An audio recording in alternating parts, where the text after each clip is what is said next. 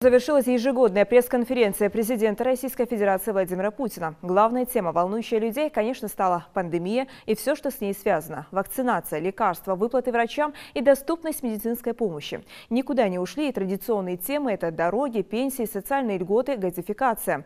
Пресс-конференция в этом году дополнилась элементами прямой линии, которая не состоялась из-за эпид-ситуации. Свои вопросы подготовили и журналисты, их было аккредитовано около 800. В рамках пресс-конференции президент президент подвел и итоги года – политические, экономические и социальные.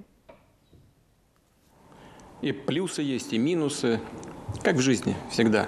Конечно, этот год связан с проблемой, а, которая у всех э, на устах, э, перед глазами стоит, и которая всех нас беспокоит, это пандемия коронавирусной инфекции. Не только для России, для всего мира.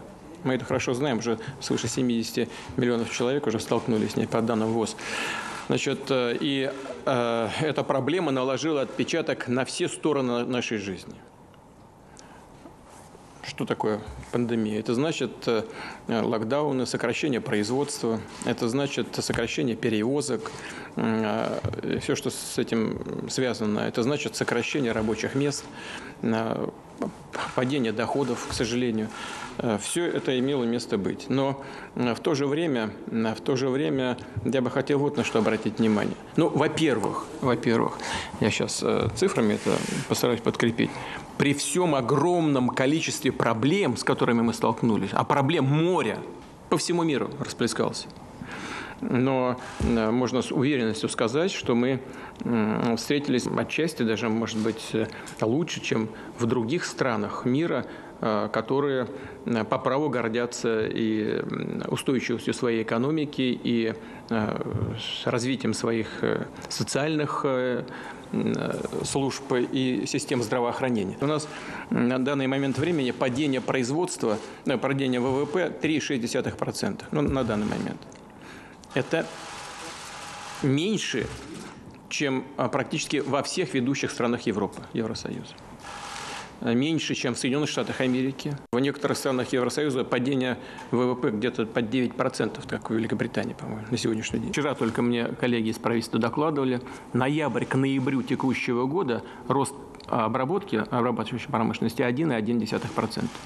То есть это дает нам основание надеяться на то, что э, эта тенденция э, сохранится, что нам удастся ее сохранить, и мы будем двигаться в этом направлении вперед. Производство сельского хозяйства традиционно у нас за последние годы э, в хорошей зоне. Э, вот где-то сейчас на данный момент плюс 1,8. Министр сказал, что по году может быть даже не падение, а может быть увеличение до 2%. Надеюсь, что так и будет. Банковский сектор у нас в весьма удовлетворительном состоянии. Прибыль банков э, оценивается примерно в этом году э, в триллион триста миллиардов рублей. И это говорит об устойчивости финансовой системы. Э, значит, реальная заработная плата. Думаю, что, прошу сразу меня, граждан на меня не сердиться, потому что то, что я сейчас скажу, не соответствует как бы ощущениям, с которыми люди сталкиваются в реальной жизни. Тем не менее, это усредненная цифра, мы должны тоже на нее ориентироваться. Реальная заработная плата, надеюсь, подрастет у нас до конца года где-то на полтора процента к сожалению, при э, падении реальных располагаемых доходов населения. За счет чего? Вот такая, о чем это говорит? Какая разница? Откуда эта разница берется? Падение доходов у индивидуальных предпринимателей и всего, что с этим связано. Так, в общем и целом, э, падение реальных доходов, к сожалению, будет где-то около 3%. Значит, уровень безработицы у нас был в начале года 4,7%. Сейчас, как вы знаете, он подрос до 6,3% но об этом мы наверняка еще будем говорить. Все, что мы делаем по поддержке э, экономики, по поддержке а, пострадавших отраслей производства, связано напрямую с поддержанием рабочих мест. Сейчас 6,3%. Надеюсь, что нам в течение следующего года удастся выйти на прежние показатели.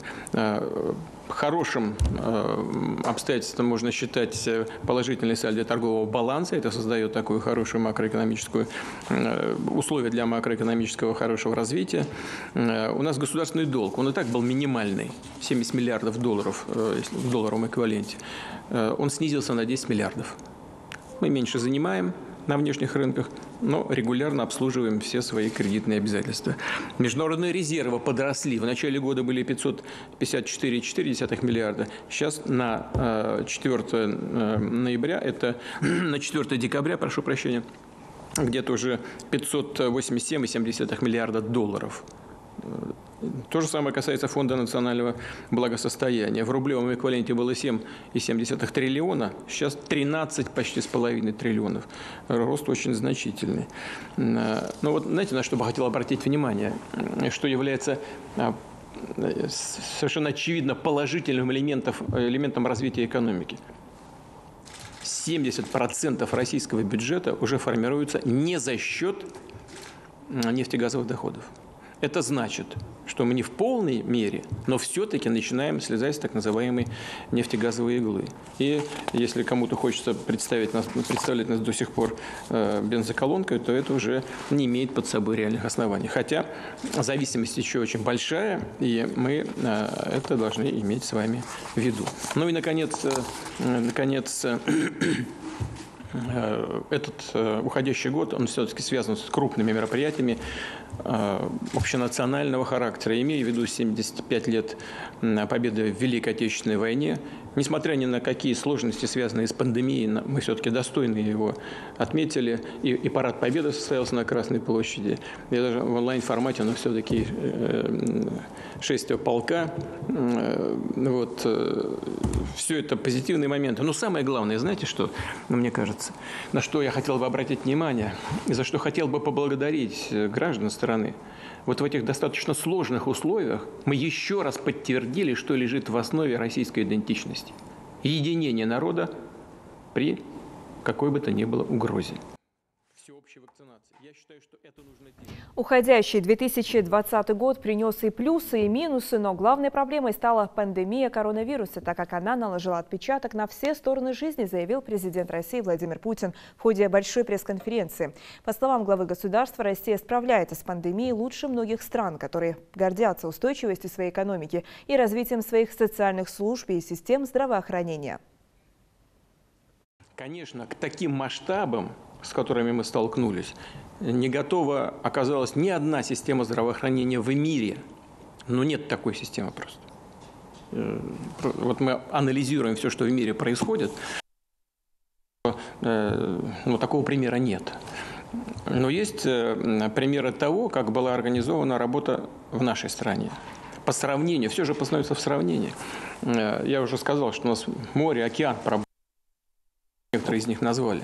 Но э, по, все познается в сравнении. По сравнению с тем, что в мире происходило, конечно, э, наша система оказалась э, более эффективной. Я сейчас скажу о недостатках лекарств и там, о других проблемах. Это само по себе, само собой разумеется. Это все есть, мы это все видим. И анализ даже вот поступающих вопросов, и в вашем вопросе это звучит, говорит о том, что далеко не все решено. Но, вот смотрите, у нас на момент начала пандемии, когда э, только первые сигналы пришли из, э, от наших друзей из Китайской Народной Республики, что там есть э, проблема подобного рода, мы сразу среагировали на границе. И выиграли, я тогда уже много раз об этом сказал, выиграли время для того, чтобы начать активную подготовку к тому моменту, когда придет это в большом э, масштабе и количестве к нам. Мы выиграли это время. Начали быстро разворачивать и саму систему здравоохранения, и все, что связано с предупреждением пандемии. И не, потеряли это время зря. Потребность э, в коечных местах, подготовленных для борьбы с пандемией, у нас составляла 95,